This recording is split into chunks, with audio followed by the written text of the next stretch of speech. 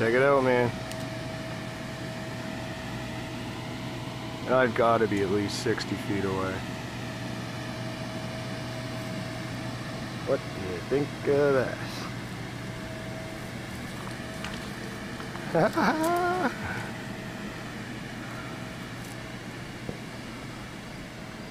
like, seriously, what do you think of that?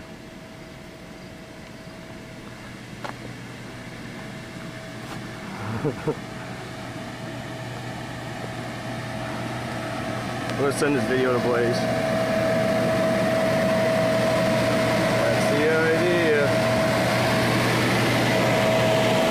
Even by itself, it still works a lot better.